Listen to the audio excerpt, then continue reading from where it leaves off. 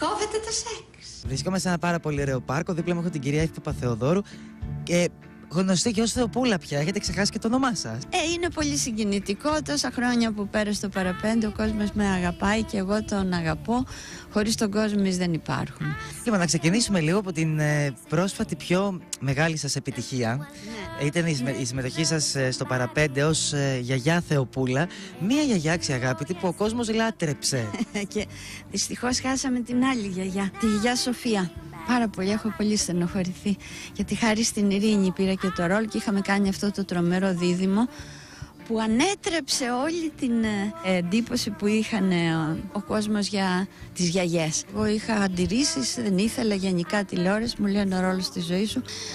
Κρίμα, πολύ κρίμα, αλλά νομίζω έχει μείνει έχει μείνει κλασική αυτή η σειρά και η κυρία Ειρήνη από τα πιο αγαπητά πρόσωπα του, της τηλεόρασης, του κινηματογράφου και του θεάτρου κυρίως. Ναι, ναι. Εσείς όλο αυτό το θέμα με την κρίση πώς το βιώνετε και πώς το, το κρίνετε, το σχολιάζετε; Κοίταξε παιδί μου, εγώ έχω ζήσει πάρα πολλές άσχημες καταστάσεις στην κοινωνία. Το μετεμφυλιακό κράτος, μετά ήταν η δικτατορία. Είχαμε φιλοδοξία και ελπίζαμε ότι όλο αυτό θα περάσει γρήγορα και αγωνιζόταν προπαντός οι νέοι.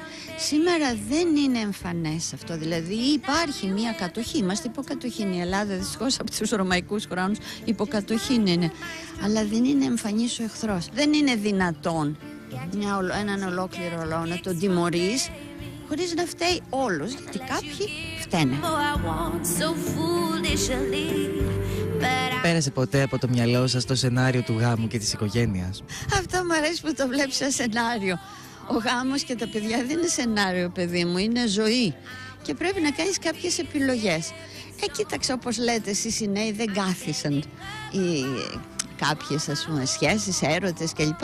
Ε, από ένα σημείο και μετά λες τελείωσε, εγώ θα αφοσιωθώ στην τέχνη. Ε, ωστόσο το καμπανάκι της μητρότητας χτύπησε ποτέ μέσα σας; Ναι, ναι, κάποια εποχή ναι. Αλλά δεν ήταν, ε, πώς να πούμε, η, η ώρα, δεν ήταν η στιγμή για να ολοκληρωθεί. Είστε μια γυναίκα αρκετά ρομαντική και πρέπει τον έρωτα να τον ζήσατε ρομαντικά και όμορφα στην εποχή σας. Ε, δεν έχω παράπονα από τη ζωή μου ούτε από τα αγόρια που συνάντησα τότε. Το λέω αγόρια τότε ήμασταν νέοι και πιο μεγάλοι άνθρωποι.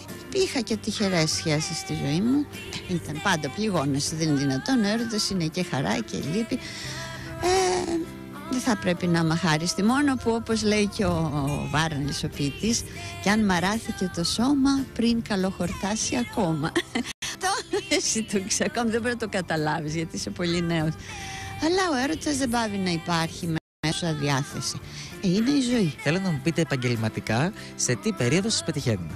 Τώρα αυτή τη στιγμή είμαστε με το σπουδαίο σκηνοθέτη τον Αλέτο Μπελιού και κάνουμε ένα ντοκιμαντέρ, θα το ολοκληρώσουμε σύντομα όλοι στο βουνό που είναι η ιστορία του πατέρα μου και της μητέρας μου στην αντίσταση. Ε, ολοκληρώσαμε με την κυρία Έμι Τζάβρα Μπούλοκ μια ταινία μικρού μήκους, ε, το Fairy Tales. Πήγα στην Κύπρο για να παίξω στην ταινία της κυρίας ε, ε, Ντάινας Παπαδάκη το πέντε τρόποι για να πεθάνεις και μου είχε προτείνει ο κύριος Παντελής Κουρλάς να παίξω σε μια ταινία Πανδοχείο Παράδεισος. Θα γυριστεί το φθινόπωρο πιθανώς. Και ο χειμώνας, μια πάρα πολύ ωραία ταινία μεγάλου μήκους αυτή γυρίστηκε πριν δύο χρόνια και ολοκληρώνεται τώρα στο Λονδίνο. Ευχαριστώ πάρα πολύ, είστε πολύ γλυκιά και χάρηκα πολύ που τα είπαμε από κοντά. και εγώ Σάκη μου εύχομαι σε όλους καλό καλοκαίρι και κουράγιο μην το βάζουμε κάτω. Σας φιλώ